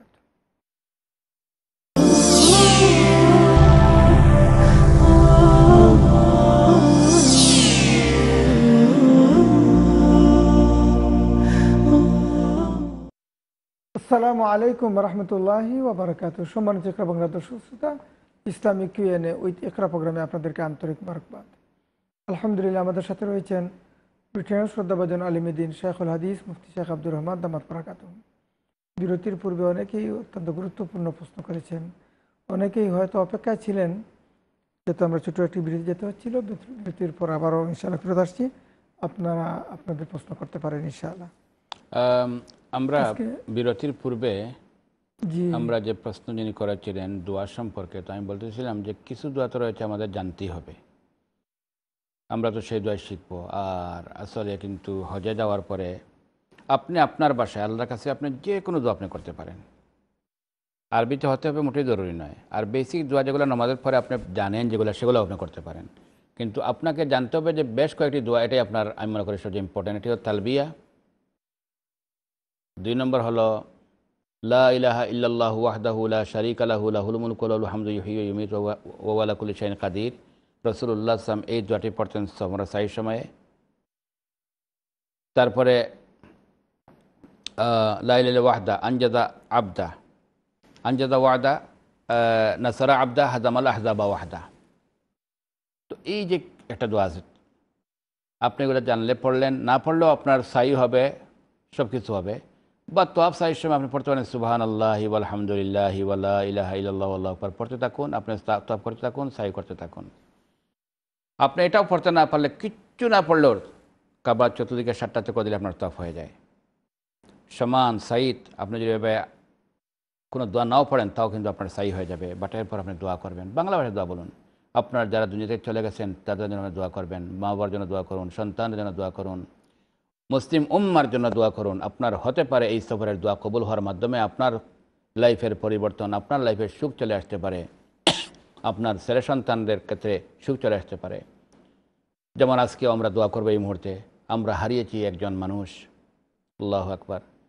অনেকে হয়তো আপনারা জানেন, সিলেট আজাদ্দিন এদারা তালিমের বহু দিনের যিনি ছিলেন নাজিম হজরত শেখ ফরুদ্দিন রহমদ উনারই সুযোগ্য সাবজাদা হজরত মাওলানা আজদুদ্দিন নোমান একজন অত্যন্ত গুমনাম পরিচয় বিমুখ একজন আলেম ছিলেন। উনি আজকে নিউহাম হসপিটালে সাড়ে আটটার দিকে বোধ সাড়ে আটটার দিকে। ইন্তেকাল করেছেন। আমাদের ওই মাগরিবেন আমাদের একটু পূর্বে আমাদের প্রোগ্রাম শুরু একটু পূর্বেই। বেশ কিছুদিন যাবত উনি অসুস্থ ছিলেন। দারুসুন্না জামিয়া দারুসুন্না যেখানে আমি প্রত্যেক মাসের প্রথম তারিখে এখন জুম্মা পড়াই। সেখানেও প্রতিষ্ঠা লগ্নে উনিও তাদের সঙ্গে ছিলেন এক সময়ও। এবং এই দেশে আর একটা মসজিদেরও বহু লম্বা জমানা উনি ইমাম খতিব ছিলেন। ডকল্যান্ড মসজিদের ইমাম খতিব ছিলেন। তো আপনারা অনেকেই তার ওনাকে চিনেন বা উনি গুমনাম উনি নাম বা প্রচার বিমুখ ছিলেন একজন আলেম। নেম ফেইমের পাশাপাশি ছিলেন না। অত্যন্ত নেককার একজন বুজুর্গ আলেমের সাবজাদা ছেলে। আল্লাহ যেন হজরত মৌলানা আজদুদ্দিন নোমানকে জান্নাতুল ফিরদাসের উচ্চ মকাম করেন। আমিন। এইভাবে আপনি আমি যাদেরকে হারিয়েছি আমরা তাদের জন্য দোয়া করব। হজে গেলেও আপনি আপনার সমস্ত মুর্দার জন্য এভাবে দোয়া করতে থাকবেন ইনশাআল্লাহ। আরফার মাঠে গেলে সেখানেও লা ইলাহা ওয়াহদ ওয়াহদাহুল্লাহ শারিক আলাহুল মুলক আলহামদুল্লাহ কুল্লি শাহিন কাদির। সমস্ত আম্বেকরাম পড়েছিলেন। ফোর্থ কলিমা। আপনি সেখানে সে কলিমা পড়বেন। কুলহু আল্লাহ হাদানে পড়ুন। এইভাবে আরও কিছু খাস খাস দোয়া আছে এক এক জায়গার। এগুলো আপনার জন্য তো শেখাটা একটু ইয়ে আছে, ভালো। আর বাকি দোয়ার বুক, আপনি দোয়া তো সারা জীবনই করবেন, অন্য জায়গায় করবেন আমার মনে হয় সেখানে আরবি দোয়া যারা নতুনভাবে গিয়ে শিক্ষা করে পড়তে চান হার্ড হতে পারে। আপনি আপনার বাসায় দোয়া করেন, কোনো সমস্যা হবে না, ইনশাআল্লাহ। শুধুমাত্র তালবিয়া আর নবী করিম ইসলাম তোয়াফের সময় হজরে আস্তদ এবং রুকনে ইয়ামানি এই জায়গাটা ক্রস করার সময় পড়তেন, রব্বানা আতিনা ফিদ দুনিয়া হাসানা ওয়াফিল আখিরতি হাসানা ওয়াকিনা আজাবান্নার তারপরে নবী করিম সাহা ইসলাম যে কতিপয় দোয়া পড়েছেন যেগুলা আপনার কে সময়? লা ইলাহা ইল্লাল্লাহু আল্লাহু আকবার, লা ইল্লা লা ইলাহা ইল্লাল্লাহু ওয়াহদা আনজাদা ওয়াদা, নাসারা আবদা হাজামাল আহজাবা ওয়াহদা। এটা পড়তেন রসুল্লাহ সাল ইসলাম সমর সাইর সময়। আপনি এটা পড়তে পারেন। আর বাকি যেটা দোয়া আছে নর্মাল দোয়া আপনি আপনার বাসায় বলতে পারেন, কোনো সমস্যা নেই ইনশাল্লাহ ঠিক আছে ইনশাল্লাহ আর এখন থেকে আপনারা মোস্তামশাই শিক্ষা করুন যে হজের ফরজ কীভাবে কীভাবে করতে হবে। এহরাম বাঁধার পরে কোন কোন কাজ আমরা করতে পারব না। এহরাম কীভাবে বাঁধবো? তারপরে সেখানে গিয়ে আমরা তোয়াব কীভাবে করব? সমরসাই কীভাবে করব? এগুলো মাসা এখন থেকে শিক্ষা করুন। আমি আগেই বলেছি যে হজ মানেই হলো পাঁচটি দিলহজ্জার পাঁচ দিনে পাঁচ জায়গায় নয়টি কাজ করার নামকেই হজ বলা হয়। তো প্রথম দিন আট তারিখ, ওই দিন শুধু মিনায় যান হাজি সাহেব। সেখানে গিয়ে রসুল্লাহ সাল্লাম জুহর, আসর, মাগরিব এসা পড়েছিলেন এবং জিকির আবাদ বন্দীর মধ্যে কাটিয়েছেন। তো এই দিন আর এমন গুরুত্বপূর্ণ কাজ নয়। হারাম বেদে আট তারিখ রসুল ইসলাম মিনায় গেছিলেন। নয় তারিখ আরাফায় জুহরের নামাজ আউ্বাল অক্ত পড়ে আসরকেও পড়ে ফেলেছিলেন, কম্বাইন করে। তারপরে রসুল ইসলাম খুতবা দিয়েছেন। লম্বা দোয়া করেছেন, দাঁড়িয়ে অনেক লম্বা টাইম দোয়া করেছেন এবং আরফানে দোয়া কবুল হয়। আল্লাহ অসংখ্য গণিত মানুষকে জাহান্নাম থেকে মুক্তি দেন। সারা বৎসরের সবচেয়ে বিপুল সংখ্যক মানুষ যেদিনে মুক্তি পান জাহান্নাম থেকে সেদিনের নাম হলো আরাফা। তো দ্বিতীয় দিনে এই আরাফায় উকুব করতে হয়, অবস্থান করতে হয়, এটা কিন্তু ফরজ। সূর্য ডোবার পরে মাগরিবান না পড়েই হাজি সাহরা চলে যান, মুজদলিফায় সেখানে রাত্রি যাপন করেন। মুজদলিফায় রাত্রি যাপন করে মর্নিংয়ে ফজর নামাজ পড়েই সেখানে গিয়ে প্রথমে মারি পড়বেন, তারপরে এসা পড়েন, এরপরে রাত্রে তো একটু আরাম করলেন, মর্নিংয়ে ফজর নামাজ আর্লি পরে তারপরে সেখান থেকে রওনা দেন পাথর মারার জন্য পরের দিন দশ তারিখ জামারাতে। জামারাতে গিয়ে পাথর মারেন, মারার পরে আবার হাজি সাবরা মিনায় চলে যান, সেখানে গিয়ে ওনারা তাদের কুরবানি হয়ে গেলে মাথার চুল কাটেন বা হলক করেন। এরপরে ওনারা কাবায় চলে যান, গিয়ে সেখানে মেইন তফ করেন সমরার সাই করেন, এই। তো এই সমর সাই করার পরে মাসাল্লাহ অনেক কাজ তো শেষ হয়ে গেল। আর এরপরে বাকি দুই দিন আর পাথরের অসম্পূর্ণ পাথর মারা যেগুলো আছে এগারো তারিখ এবং বারো তারিখ, ওই তিনো জায়গায় ষাটটি ষাটটি করে পাথর মারলেন। এরপরে যে সময় আপনি মক্কা থেকে চলে আসবেন, তখন গিয়ে আপনি বিদায় তফ করলেন। এই কতিপয় নয়টি কাজ পাঁচ টাকা কেন্দ্র করে দুই হাজার পাঁচ দিনে করার নামই হলো হজ জেদাকুমুল্লাহ জাজাকুমুল্লাহ খায়ের আমরা দেখি পরবর্তী প্রশ্নকে নিয়ে আসছেন আসসালামু আলাইকুম ওয়ালাইকুম সালাম আসসালামু আলাইকুম ওয়ালাইকুম সালাম রহমতুল্লাহ জি বলুন আমার দুই দুই তিনটা প্রশ্ন আমি ফোন থাকতে উত্তরটা চাইলাম কি জি ঠিক আছে ইনশাআল্লাহ যেন মাঝে জমাতে মাছ হলো মসজিদ গিয়া তো মুসল্লি হলে তো ইমামে তো কোনোদিন পর সুজা আসতে বলাতে সুজা থেকে আসতে বড়ই আর আসর জোর আসরও আসতে বড়ই আমি বদলে বড়ই তাহলে মুসল্লি হলে কিতা করতা? পড়তা আমি না পড়তা না? না দূরে পড়তা না আসতে পড়তা? না পড়লে গুলোই বলি না কিতে হইব? হয়তো জানতে পারি না। আর কোনো প্রশ্ন আসেনি আর একটা প্রশ্ন আছে আর কি যদি মানুষ সিক্সটি ফাইভ বা সেভেন্টি যাইটা চাইছে লোকে কোনো হলে যাইটা পারবানি মহিলা নি মহিলা মহিলা মহিলা যে একলা নি একলা একলা আর লোক আছি মন বাবু ফুয়া দেউর ফুয়া আচ্ছা বুঝছি নিজর মাহারাম ছাড়া বা স্বামী ছাড়া আমরা হইতাম পারব আর আর একটা প্রশ্ন আছিল আমার নাই আমরা না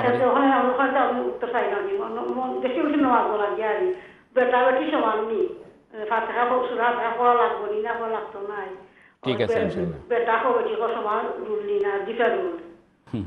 ঠিক আছে আমরা ইনশাআল্লাহ শুনতে ইনশাআল্লাহ। থাকুক ইনশাআল্লাহ। ধন্যবাদ আপনাকে আপনি প্রশ্ন করেছেন যদি ইমাম সাহেবের সাথে কোনো মহিলা নামাজ পড়েন তখন উনি মক্তদি হিসাবে সুরাকরাত পড়বেন কিনা পড়বেন না এখানে পুরুষ মহিলা কোনো বেশ কম নয় এই পয়েন্টের সমান এবং ওলামা একরামের দুইটি মতামত রয়েছে। আমরা যেটি ফলো করে থাকি সেটি হলো, ইমাম সাহেব তিলাওয়াত করলে আপনার তিলাওয়াত হয়ে যাচ্ছে, আপনি সুরায় ফাতেহাও পড়তে হবে না। সুরা পরবর্তী সুরা সুরার পরে যেটা, সুরা ফাতেহার পরে যে অংশ পড়েন সেটাও আপনাকে পড়তে হবে না। কেন? রসুল ইসলাম বলেছেন, মান কান লাহু ইমাম, ফাকারাতুল ইমাম আল্লাহু খেরাতুন আপনার ইমামের পড়াটাই আপনার পক্ষতে পড়া হয়ে যায়। এবং মুসলিম শরীফের বিশুদ্ধ একটি আদিস রয়েছে ওইদা কর আফ আংসিতু ইমাম যখন পড়বেন, তখন মুক্তদিকে বলা হচ্ছে তোমরা যেন চুপ থাকো। কোরআনে করিমে আল্লাপাক বলেছেন ওইদা কুরি আল কোরআন ফাস্তামিউল্লা হু আং আংসিতু। কোরআন যখন পড়া হয়, বিশেষ করে ইমাম যখন পড়েন, তখন তোমরা মনোযোগ সহকারে শুনবে আর নীরব থাকবে। তো যে নামাজে বড় করে পড়েন, সেখানে শুনতে পারি, মাগরিব, ঈশা এবং ফজর।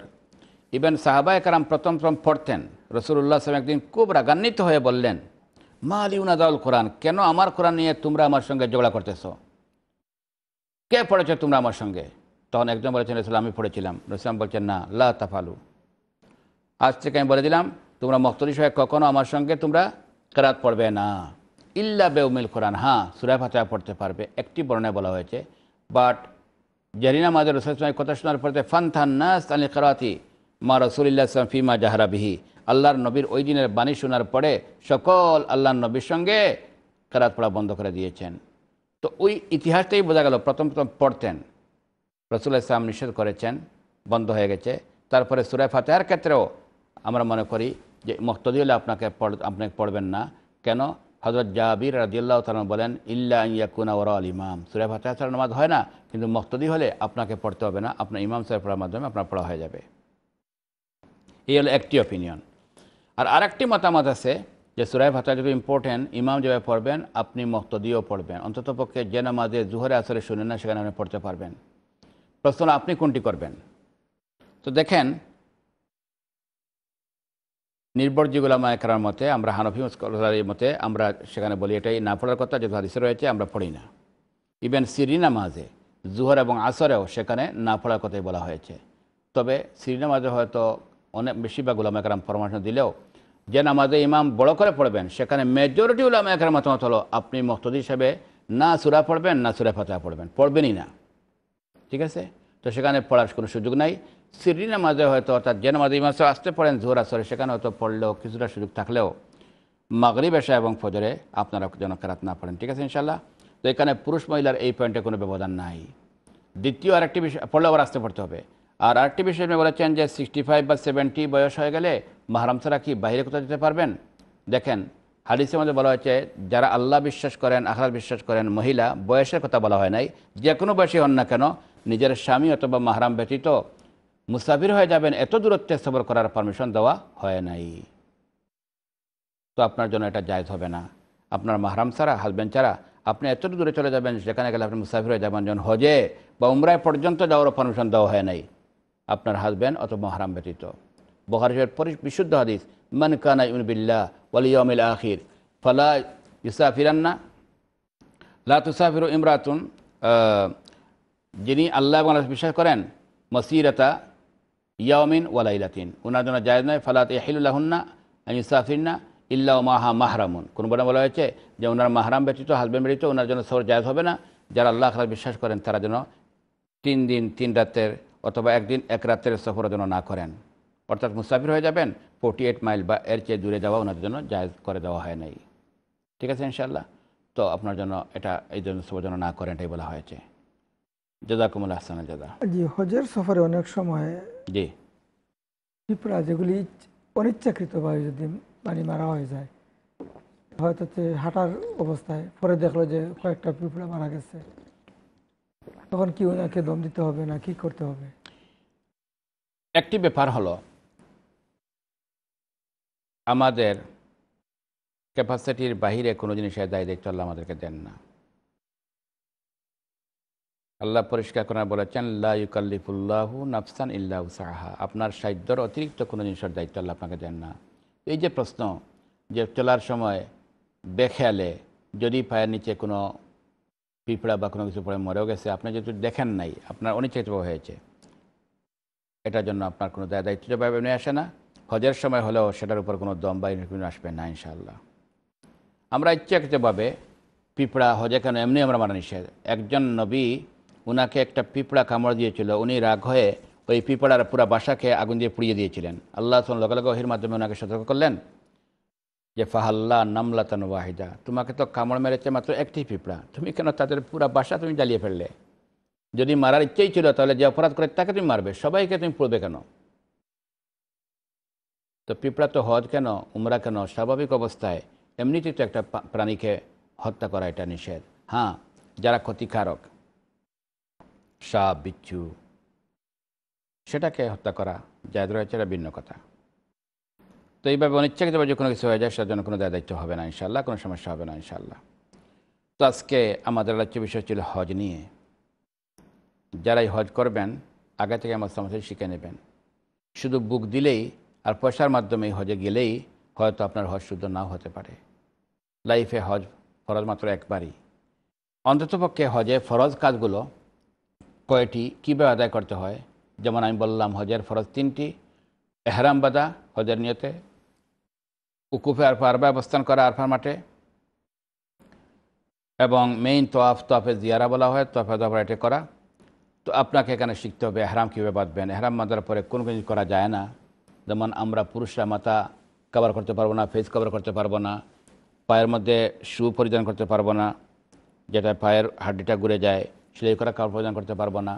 আপনারা, আমরা পুরুষ হয়, মহিলা হয়, আমরা কেহ চুল কাটতে পারব না, নখ কাটতে পারব না। কোনো খুশবু বা কোনো পারফিউম আমরা ইউজ করতে পারব না। হান্টিং করা যাবে না, অর্থাৎ সেখানে কোনো স্থলভাগের কোনো শিকারকে শিকার করা যাবে না। এই কতিপয় নিয়ম মানতে হয়, স্ত্রী সহবাস করা যায় না বা এই সমস্ত স্ত্রী সহবাসের সাথে ডিজায়ারের সাথে সেক্সুয়াল সম্পর্ক যেগুলো রয়েছে, এ ধরনের কোনো কথাবার্তা বা কোনো ইনভলভমেন্ট সেখানে জায়েজ নয়। ফালা রফত সাল্লাহ কোরআনে বলেছেন, এই হলে হেরামের সময়ও। এবং আমরা পুরুষরা সেলাই করা কাপড় পরিধান করতে পারব না। আপনারা কিন্তু যে কোনো কাপড় পরিধান করতে পারেন, মহিলারা। এছাড়াও হজ, হজের বিষয়ে পুরুষ এবং মহিলাদের কতিপয় বিষয়ে বেশ কম রয়েছে। ইনশাল্লাহ আমরা সুযোগ পালে আগামীকালকে হয়তো এই সমস্ত বিষয়ে আমরা টাচ করব ইনশাল্লাহ যে কোন কোন পয়েন্টে পুরুষ এবং মহিলাদের মধ্যে পার্থক্য রয়েছে হজে। এজ এক্সাম্পল আমরা এই করা কাপড় প্রদান করতে পারেন, পারি না, আপনারা পারেন। দুই নম্বর আমরা মাথা কাবার করতে পারব না, টুপি বা অন্য কোনো দিয়ে রুমাল দিয়ে আমাদের মাথা ঘুরতে পারব না। আপনাদের তো হজার অবস্থায় মাথাকে তো অবশ্যই কভার করে রাখতেই হবে। হ্যাঁ ফেস আমাদের খোলা থাকবে, আপনাদের ফেস খোলা থাকবে। তিন নম্বর, তলবিয়া পড়ব আমরা বড় করে, আপনারা পড়বেন আস্তে- করে। চার নম্বর, আমরা কিন্তু শু বা সক্স আমরা পরিধান করতে পারি না। পায়ের হাড্ডিকে খোলা রাখতে হয়, আপনারা কিন্তু পড়তে পারেন। চার নম্বর হজার মধ্যে রমল কিছু কুইক চলা বা ইস্তেবা, যেটা এহরামকে ডান শোল্ডারকে ওপেন রেখে বগল নিচ দিয়ে কাপড়কে পাস করে বামের শোল্ডারে রাখা, কাঁধে রাখা, এই পদ্ধতিতে কাপড় পরিধান করাকে ইস্তেফা বলে। এটা আমাদের জন্য আপনার জন্য নয়। এটা রমল ইস্তেফা পুরুষের জন্য, মহিলাদের জন্য নয়।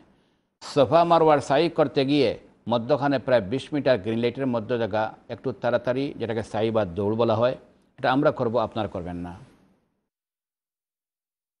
এবং মহিলাদের ক্ষেত্রে হলো তপ করার সময় সাইড সময় যত সম্ভব, আপনারা পুরুষ থেকে, আলোক থেকে থেকে, সাইটে থেকে থেকে আপনারা করার চেষ্টা করবেন। হজরে আসাদে চুমা দেওয়ার জন্য ধাক্কাধাক্কি ভিড়। তো কেউ করবে না বিষয়কে আপনারা তো করার কোনো প্রশ্নই ওঠে না। এই কতিপয় বিষয় অবশ্যই আপনাদেরকে মাথায় রাখতে হবে। আমরা এবং মহিলাদের হজের মধ্যে পার্থক্য। এছাড়াও আরও আপনাদের পার্সোনাল মশলা মশাইল মান্থলি পিরিয়ডে যদি সমস্যা হয় সেটা জন্য আপনাদের খাস মশলা রয়েছে, আমরা বিষয় নিয়ে ইনশাল্লাহ পরবর্তী বিষয়ে আলোচনা করব। কিন্তু আমার অনুরোধ, যারাই হজে যাবেন, শুধুমাত্র বুক দিয়েই মনে করলেন আমি বুক হয়ে গেছে, আমি হজে যাব, আর সেখানে গিয়ে অমুক আর তমুক আমার গাইডে শিক্ষা দিয়ে দিবে, এইভাবে অনেক, অনেকে কিন্তু শেষ পর্যন্ত বিভ্রান্তির শিকার হন। কারণ সেখানে তপ করার সময় হয়তো আপনার সাথীদের কারণ বিচ্ছিন্ন হয়ে গেলেন, তখন আপনি একা তপ করার সময় আপনি অনেক সময় হেজিটেশনের পরে আপনি কয় চক্কর দিয়েছেন, সেটাও আপনি মনে রাখতে পারেন না। আপনার হয়তো হজার বিরাট ক্ষতি হয়ে যেতে পারে। এজন্য অন্ততপক্ষে ফরজ কাজগুলো কীভাবে করা হয়? এইটুকু জ্ঞান বই পড়ার মাধ্যমেই হোক অথবা কোনো সার্কলে গিয়েই হোক বা ওয়ান টু ওয়ান কোনো আলিম সাহেবের সঙ্গে কাছ থেকে জেনেই হোক, আপনারা এগুলা শিক্ষার চেষ্টা অবশ্যই করবেন ইনশাআল্লাহ। আল্লাহ আমাদের সকলকে, যারা হজে যাবেন ফরজ হজ, তাদেরকে যত তাড়াতাড়ি সম্ভব আল্লাহ হজে যাওয়ার জন্য আল্লাহ সুযোগ করে দেন এবং অনলাইন বুকিংকে যেন আল্লাহ পাক সহজ করে দেন। আল্লাহ আমাদের সকলকে যেন কবুল করেন, আমিন। এবং আবারও বলব হজরত মৌলানা আজদুদ্দিন নরমান উনি আজকে ইন্তেকাল করেছেন দারা নাজিম সাহুদুর রহমতুল্লাহ সাহেবজাদা আল্লাহ ওনাকে যেন জান্নাতুল ফিরদাসে আল্লাহ মাখা নসিব করেন আমি জাজাকুমুল্লাহ জাজাকুমুল্লাহ খায়ের সম্মানিত ইকরা বাংলা দর্শক শ্রোতা, আলহামদুলিল্লাহ অত্যন্ত গুরুত্বপূর্ণ প্রশ্ন নিয়ে আসছেন। আপনাদের প্রিয় অনুষ্ঠান Islamic Q N A with Iqra program আপনাদের প্রশ্নের উত্তর দিচ্ছেন শেখুল হাদিস মুফতি শেখ আব্দুর রহমান দামাত পারাকাতম। হুজুরকে আমি মুবারক জানাচ্ছি। আপনাকে এবং দর্শক ভাই বোনদের সকলের শুক্রিয়া আমি আদায় করতেছি। আল্লাহ যেন কবুল করেন আমিন। সম্মানিত দর্শক শ্রোতা আপনারা একটু আগেও হুজুরের কাছ থেকে শুনেছেন যে আমাদের সিলেটের ঐতিহ্যবাহী বালাকগঞ্জ এই গোলমুখন গ্রামের দারুসুন্না মাদ্রাসার প্রিন্সিপাল ছিলেন এবং আজাদিনিয়া দারায় তালিম বাংলাদেশ এই নাজিমে তাল নাজিম ছিলেন ফখরুদ্দিন রহমতুল্লাহ আলী তিনি সাহেবজাদা আজউদ্দিন নুমান সাহেব আজকে সাড়ে আটটার সময় নিউহাম হসপিটালে ইন্তেকাল করেছেন। তিনি যেন আপনার সবাই দোয়া করবেন। আল্লাহ রব্বুল আলমী যেন ওনাকে জান্নাতুর আলা মকাম দান করেন। আমি এখনই আপনাদের এই Islamic Q N A with Iqra program থেকে বিদায় নিচ্ছি। ভালো থাকুন, সুস্থ থাকুন। সুবাহানক আল্লাহুম্মা বিহামদিকা, আশহাদু আল্লা ইলাহা ইল্লা আনতা, আস্তাগফিরুকা ওয়া আতুবু আসসালামু আলাইকুম রাহমাতুল্লাহি ওয়া বারাকাতুহু।